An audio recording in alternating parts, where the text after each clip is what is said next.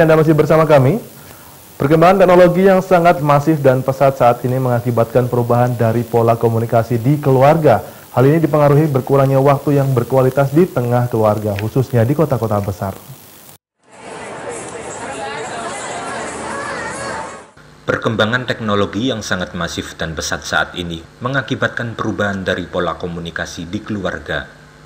Hal ini dipengaruhi berkurangnya waktu yang berkualitas di tengah keluarga khususnya di kota-kota besar.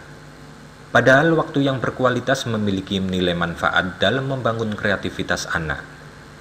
Harsial Rosidi, satu di antara penyelenggara acara, mengatakan jika waktu yang berkualitas perlu diisi dengan sesuatu yang memiliki nilai manfaat, khususnya dalam membangun kreativitas anak, salah satunya dengan membuat prakarya bersama orang tua dan anak.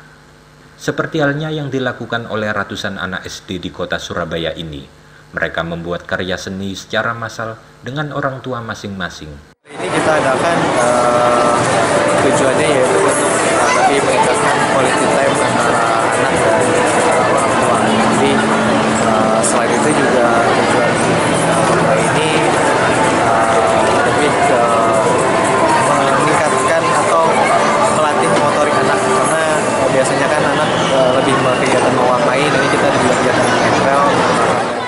Selain itu, kegiatan ini mempunyai manfaat yang sangat baik bagi perkembangan kreativitas anak, dikarenakan kreativitas merupakan bagian dari aktivitas otak kanan yang bersifat imajinasi, intuisi, dan cenderung tidak sistematik.